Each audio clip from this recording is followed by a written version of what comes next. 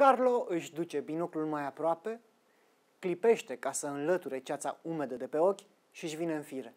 Sunt aici. În preajma zilei europene de luptă împotriva traficului de persoane, 18 octombrie, îți propun altceva decât veșnicele statistici.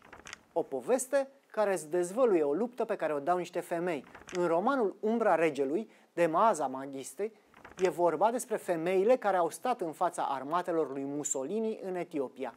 Te-ai mai gândit și tu ce înseamnă puterea femeilor, dar romanul acesta îți arată care este impactul pe care poate să-l aibă hotărârea unei singure persoane într-o luptă ce pare disproporționată. Avea să o ducă undeva departe, ca să scape și ea. Amândouă vor fi libere.